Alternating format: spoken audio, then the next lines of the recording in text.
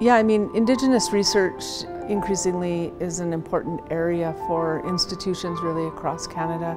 And at Mount Royal, um, coinciding with the indigenization strategy, um, building research capacity among you know, faculty as well as, as students will be important to achieving the aims of, of the strategy.